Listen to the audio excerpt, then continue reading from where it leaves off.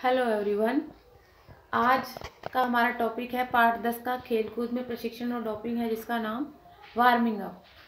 तो इसमें हम जानेंगे वार्मिंग अप क्या होती है। तो वार्मिंग अप है शरीर को गर्माना।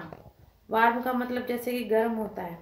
वार्मिंग अप का मतलब है गर्माना या हल्के फुल्के व्यायामों की एक श्रृंखला, जिसे छोटी अवधि के लिए किसी भी प्रतियोगिता या प्रशिक्षण से पहले किया जाता है।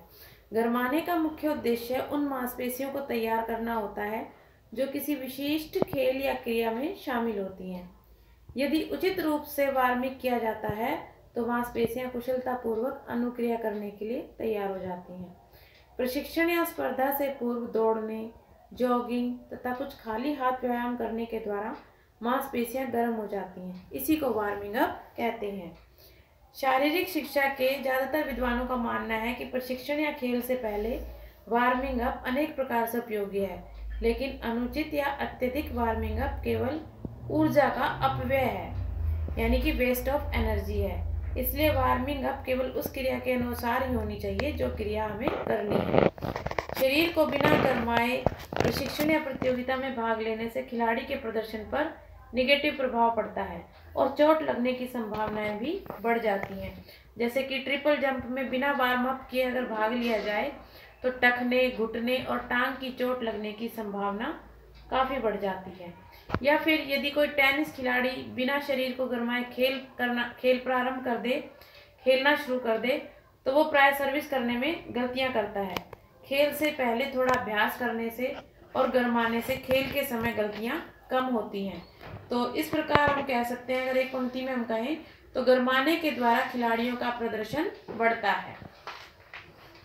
तो वार्मिंग अप के प्रकार हैं, दो प्रकार की वार्मिंग अप होती है, सक्रिय गरमाना और निष्क्रिय गरमाना। सक्रिय गरमाना के भी दो हैं, सामान्य गरमाना और विशिष्ट गरमाना। तो सामान्य गरमाना जो है, सामान्य वार्मिंग अप किसे कहते हैं? यह वार्मिंग अप लगभग सभी प्रकार के खेलों और प्रशिक्षण से पहले की जाती है।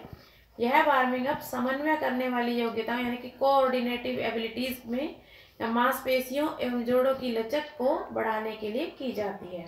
इससे मांसपेशियाँ जो है, अर्ध तनाव की स्थिति में आ जाती हैं और ये सामान्य वार्मिंग अप में आता है। जॉगिंग रनिंग जंपिंग खिंचाव वाले व्यायाम कैलिस्थेनिक्स और कुछ सामान्य व्यायाम द्वारा भी सामान्य व्यायाम के द्वारा भी वार्मिंग अप किया जा सकता है। विशिष्ट वार्मिंग अप विशिष्ट वार्मिंग अप में उपकरणों की सहायता से कुछ विशेष व्यायाम किए जाते हैं। यह विशेष व्यायाम की जाने वाली क्रिया से सीधे तौर पर संबंधित होते हैं। विशिष्ट वार्मिंग अप सामान्य वार्मिंग अप के तुरंत बाद की जाती है। विशिष्ट वार्मिंग अप प्रत्येक क्रिया में भिन्न होती है और इस वार्मिंग अप में खेल में किए जाने वाले विभिन्न कौशलों का अभ्यास किया जाता है और उन पर ध्यान दिया जाता है। जैसे कि बैडमिंटन खेल से पहले बाजुओं और टांगों के व्यायाम के साथ कमर को घुमाने वाले व्यायाम किए जाते हैं। इसी प्रकार क्रिकेट खिलाड़ी मैच शुरू होने से पहले कैच पकड़ने और फील्डिंग इत्यादि का अभ्यास करते हैं। तो गरमाने की जो विधियाँ हैं, सामान्य गरमाना जो है, उसमें जो गरमाने की विधियाँ हैं, जॉगिंग खिलाड़ी को सबसे पहले अपनी शारीरिक क्षमता के अनुसार धीमी गति से दौड़ लगाकर शरीर को गरमाना चाहिए और शरीर के तापमान में बढ़ोतरी के लिए उसे लगभग पाँच से दस मिनट तक जॉगिंग करनी चाहिए। और जैसे जैसे उसका अभ्यास बढ़ता रहे, उसे जॉगिंग की अवधि भी बढ़ा देनी चाहिए। साधारण व्यायाम में जॉगिंग के बाद खिलाड़ी को गर्दन, कंधे, कमर हिप कलाई, घुटनों तथा टखनों के व्यायाम करने चाहिए। स्ट्राइडिंग में शरीर को गरमाने की अवधि धावकों के लिए लाभदायक होती है। इस विधि में खिलाड़ी को लंबे लंबे डग भरते हुए पूरी गति से लगभग 50 मीटर की दूरी तक दौड़ना चाहिए।